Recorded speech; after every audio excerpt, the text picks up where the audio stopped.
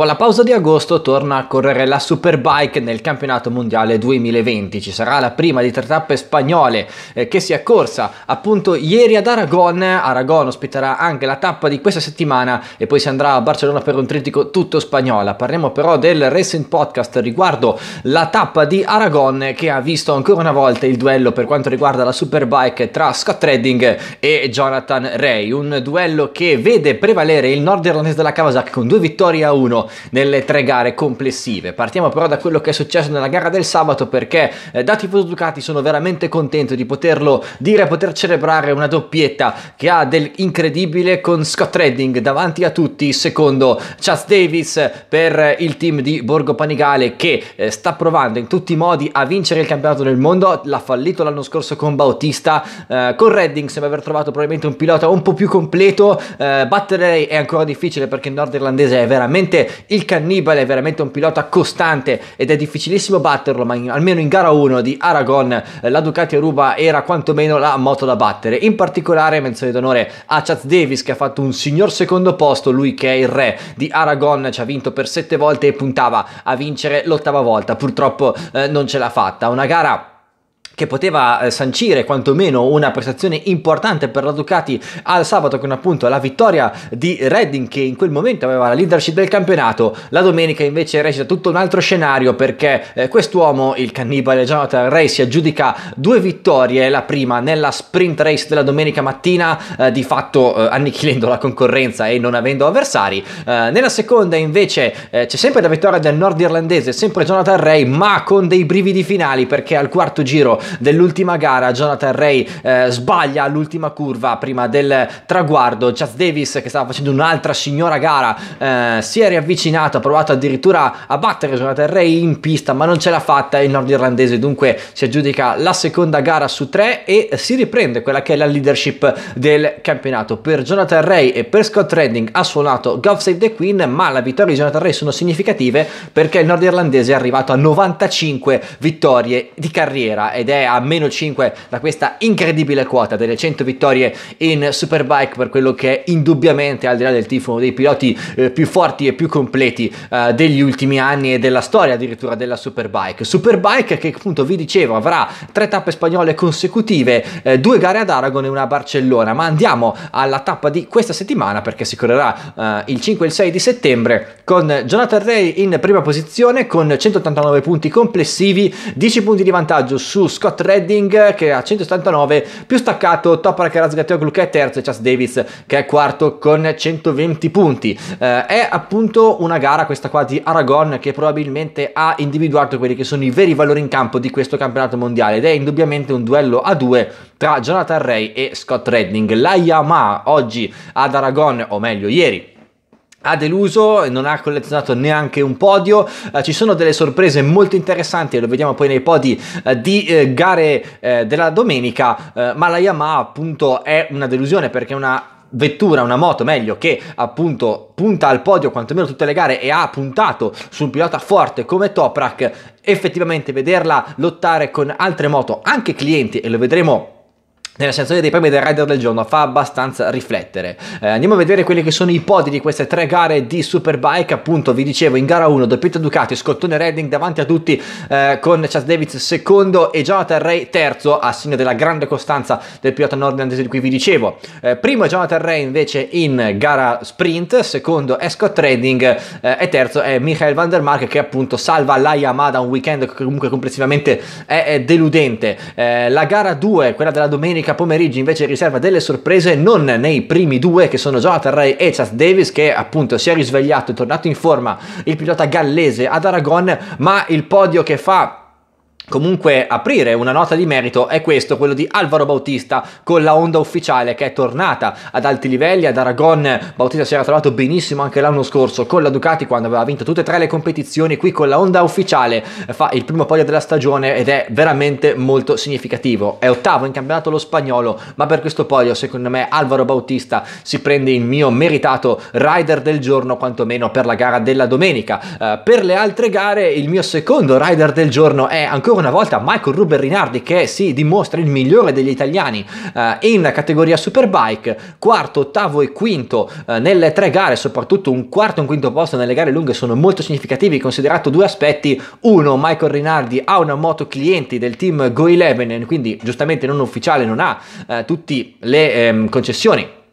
che hanno le moto ufficiali e soprattutto un quinto posto in gara 2 a lottare comunque con moto ufficiali come appunto la Yamaha, come l'altra Honda di Aslam che anche lui ha fatto una grande gara. Insomma, eh, c'è tanta carne al fuoco per Michael Rinardi che eh, si dimostra ancora una volta un pilota eh, costante, un pilota da prime 5 posizioni addirittura e ha una moto veramente ultra privata. Eh, chi ha deluso è effettivamente oltre a Yamaha è BMW che si dimostra qui eh, veramente inconsistente con Tom Sykes che fa punti soltanto soltanto in una gara su tre e stesso discorso per l'Averty, fanno punti entrambe le BMW nelle gare lunghe della domenica, dodicesimo e quattordicesimo l'inglese e eh, l'irlandese. Eh, è un campionato molto equilibrato questo della Superbike e sarà interessante seguirlo fino a Estoril che è il nuovo eh, circuito che è stato inserito come conclusione del calendario, prima si doveva concludere a Manicura inizio ottobre, invece la settimana dopo la tappa sul circuito francese a Estoril si correrà le ultime tre gare della stagione per decidere chi effettivamente tra Jonathan Ray e Scott Trading, a meno di rimonte da lontano, vincerà questo titolo 2020 eh, stagione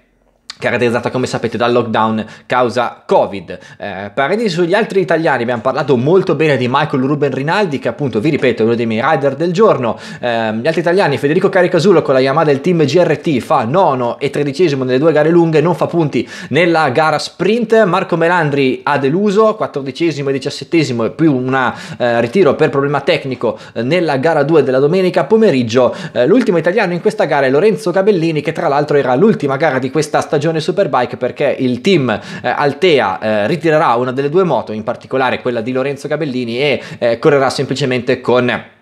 il pilota giapponese Takumi Takashi che è un tester della Honda, eh, la moto di Gabellini e quella di Takashi sono moto in configurazione stock e prendevano sistematicamente due secondi al giro, Gabellini ha fatto quello che poteva e tornerà a correre nel CIV, chissà se lo potremo vedere l'anno prossimo il pilota eh, italiano. Um, si sono rivisti tanti piloti interessanti, in particolare eh, Xavi Forés che con una Kawasaki clienti del team Puccetti fa anche lui due punti, anche per lo spagnolo secondo me. C'è la possibilità di avere un premio di rider del giorno, in questo caso il numero 3 eh, è comunque un bel campionato questo della Superbike perché comunque eh, nella prima parte del campionato è venuto fuori il talento di Topor Razzazioglu, eh, Scott Redding si è dimostrato sempre un pilota costante su questa Ducati, eh, dopotutto Scott Redding vi ricordo è campione mondiale del British Superbike in carica, l'uomo da battere è sempre lui, Jonathan Ray, ma sarà da vedere e da assistere a questa lotta incredibile. E attenzione anche all'altro Ducati Richard Davis che si correrà ancora una volta ad Aragon e punterà evidentemente a quella che sarà l'ottava vittoria eh, della carriera sul circuito eh,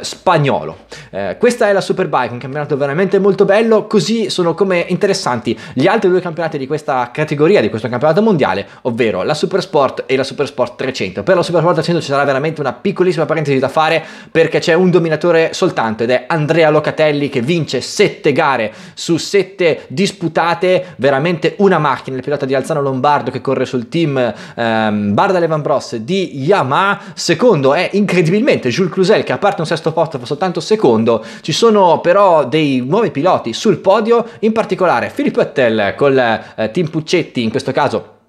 Kawasaki fa terzo in gara 1 e soprattutto Raffaele De Rosa fa podio in gara 2 il secondo stagionale eh, con la MV Agusta quindi una grande accoppiata pilota italiano su moto italiana eh, la parentesi sugli altri italiani Federico Fuligni fa doppio dodicesimo posto e fa eh, dodicesimo appunto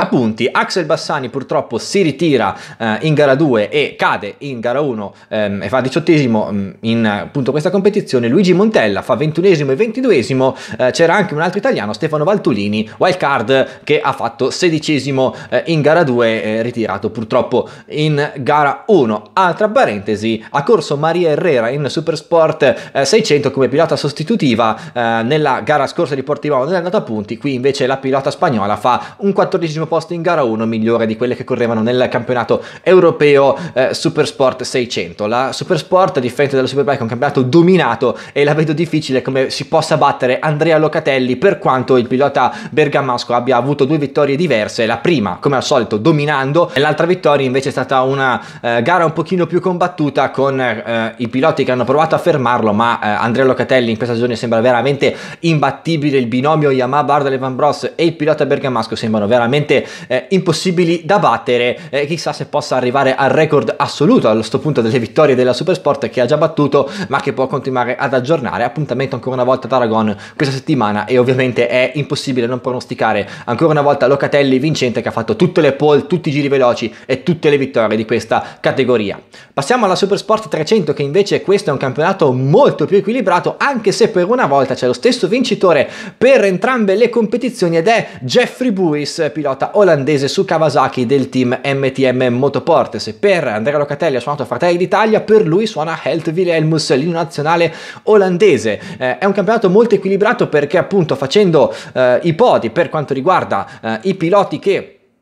contano, ci sono tanti piloti in pochissimi punti, il podio di gara 1 lo completano Anna Carrasco e Mica Perez, il podio di gara 2 invece lo completano Thomas Brianti che è il migliore degli italiani in gara 2, pilota campione regnante di categoria Superport 300 italiano e terzo posto per un grande esperto di questa categoria ovvero Scott De Rul, pilota olandese. Ci sono eh, tre piloti in tre punti, Jeffrey Buis è primo 86 punti, Anna Carrasco è seconda 84 e Scott De Rul è terzo a 83, un po' più staccato è un Ion Radre delude Tom Booth Amos che in particolare nella gara 2 di Aragon si ritira e fa un mezzo passo falso. Briante invece il migliore degli italiani e sale a 58 punti, è difficile che ave- possa avere ambizioni di titolo, però per l'anno prossimo Brianti può essere un bel talento su cui investire. Vedo più una lotta a 4 per i primi 4, ma attenzione perché la Supersport 300 è un po' come la Moto 3 eh, delle eh, categorie dei prototipi, quindi molto equilibrata ed è eh, incredibile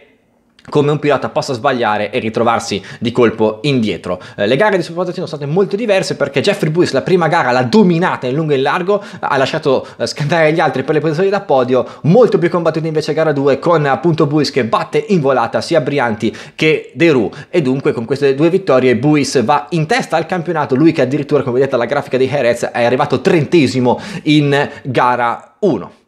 Quindi tutte le categorie delle derivate della serie si ritroveranno ad Aragon ancora una volta per gara 2, in particolare occhio alla Superbike con Jonathan Ray, primo ancora una volta, ma solo con 10 punti di distacco sulla Ducati di Scott Trading ed è un campionato veramente molto bello ed equilibrato. Fatemi sapere che cosa ne pensate. Il saluto da parte di Matthew Torgan, il prossimo appuntamento con i video sul canale sportivo. Domani, ore 19, parleremo di MLB che è arrivata alla oltre metà della stagione, mentre per quanto riguarda i video sui campionati motoristici non so se riuscirò a far uscire